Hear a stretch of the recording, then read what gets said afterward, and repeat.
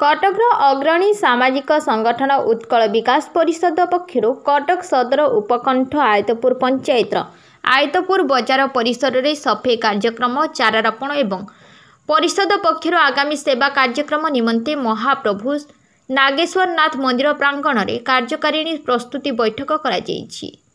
ଏହି ମହତ ସେବା କାର୍ଯ୍ୟରେ ପରିଷଦ ପକ୍ଷରୁ ପ୍ରକାଶ ମିଶ୍ର ସଞ୍ଜୟ ସେଠୀ ସୁଦର୍ଶନ ଜେନା ସଞ୍ଜୟ ସାହୁ ଦେବୀପ୍ରସାଦ ପତି ଲକ୍ଷ୍ମୀଧର ଜେନା ଅଶ୍ୱିନୀ ଦାସ ଅଶୋକ ସାହୁ ଅଭିମନ୍ୟୁ ସାହୁ ସନ୍ତୋଷ ଭୋଇ ସୁରେଶ ଜେନା ସ୍ମୃତିରଞ୍ଜନ ଦାସ ବିଜୟ ନାୟକ ବିଷ୍ଣୁଚରଣ ମାଦେଳି ରଘୁନାଥ ଚୌଧୁରୀ ଦୁଲାଲ ଭୋଇ ପ୍ରସନ୍ନ ଚୌଧୁରୀ ଏବଂ ବହୁ ସଦସ୍ୟ ଉପସ୍ଥିତ ରହି ସମସ୍ତ ସେବା କାର୍ଯ୍ୟକ୍ରମ ଆଲୋଚନାଚକ୍ରକୁ ସାଫଲ୍ୟମଣ୍ଡିତ କରିଥିଲେ। ପରିଷ ପରିଷଦର ସଭାପତି ଯୁବ ସମାଜସେବୀ ଇଞ୍ଜିନିୟର ପ୍ରକାଶ ଚନ୍ଦ୍ର ସେଠୀ କର୍ମକର୍ତ୍ତାମାନଙ୍କର ଏହି ସେବା ମନୋଭାବକୁ ସ୍ୱାଗତ କରିବା ସହ ପରିଷଦର ସ୍ୱଚ୍ଛ ଭାରତ କାର୍ଯ୍ୟକ୍ରମକୁ ସମସ୍ତ ଶାଖାମାନଙ୍କରେ ତ୍ୱରାନ୍ୱିତ କରିବାକୁ କାର୍ଯ୍ୟକର୍ତ୍ତାମାନଙ୍କୁ ନିବେଦନ କରିଥିଲେ।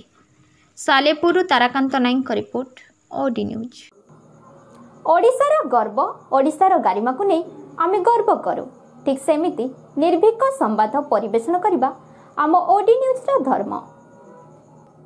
ସତ୍ୟ ଘଟଣାକୁ ଆପଣଙ୍କ ନିକଟରେ ପହଞ୍ଚାଇ ସମସ୍ତେ ସ୍ୱାଭିମାନରେ ବଞ୍ଚିବା ସେଥିପାଇଁ ପସନ୍ଦ ସମସ୍ତଙ୍କର ଓଡି ନ୍ୟୁଜ୍ ଘରେ ବସି ଦେଶ ବିଦେଶର ଖବର ଦେଖିବା ପାଇଁ ଚାହୁଁଥିଲେ ଲାଇକ୍ ସବସ୍କ୍ରାଇବ୍ କମେଣ୍ଟ ଏବଂ ସେୟାର କରିବାକୁ ଭୁଲନ୍ତୁ ନାହିଁ।